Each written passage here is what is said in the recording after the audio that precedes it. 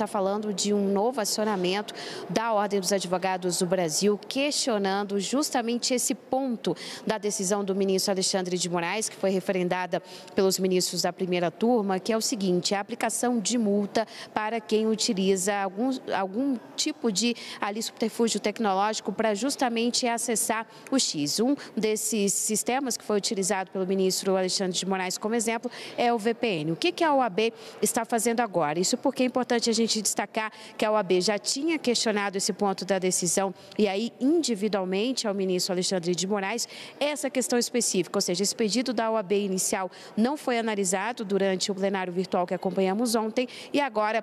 o que a OAB faz é novamente levar esse questionamento e aí apresenta uma nova ação, e aí é uma DPF, importante a gente dizer que é a arguição de descumprimento de preceito fundamental, que nada mais é uma ação voltada para justamente questionar princípios que vão ali contra a Constituição. E o que, que eles querem agora, a OAB? Que esse ponto específico relacionado à multa seja levado a plenário, ou seja, para análise de todos os ministros do Supremo Tribunal Federal.